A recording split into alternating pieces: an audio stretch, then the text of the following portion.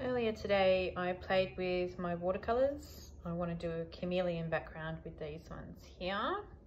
And then I added some leaves on top of the other watercolours. We got some ferns on these ones. And you leave them there while it's wet and you only remove it when it's dry and it leaves this beautiful leaf pattern here. So here we've got some more that we've done. I think they're dry. Um, you're best off leaving them till you're sure that they're dry before you take the leaves off.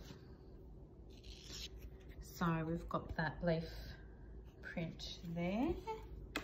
I also sprinkled some salt on this one and it, you can see that it takes up the colour a bit more and it'll leave um, some colour splotches. So we'll lift this one and see how this one went. These are using dogwood leaves. Um, they're native in Australia. And a pink one over here.